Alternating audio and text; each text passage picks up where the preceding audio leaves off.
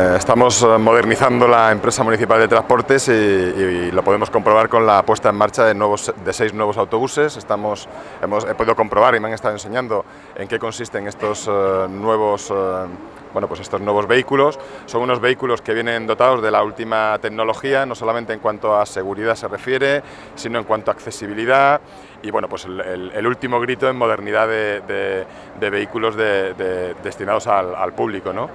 Yo quiero reseñar que nos hemos, hemos realizado un gasto de más de 1.700.000 euros en la compra de estos vehículos, que vamos a continuar en la renovación de la, de la, bueno, de la flota de autobuses de la empresa municipal de transportes y también poner en valor. ¿no? Yo creo que eh, el hecho de que Fuenlabrada como ciudad, como municipio, tenga su propia, su propia empresa municipal de transportes, pues es muy significativo. ¿no? Recordar que solamente está Madrid ciudad con otra empresa municipal de transportes y bueno, pues nos hace que, tengamos un servicio público de primera calidad y sobre todo moderno, que yo creo que es de lo que se trata en este, en este caso. Hay que señalar que son vehículos que están dotados para transcurrir en, en circunstancias de carretera.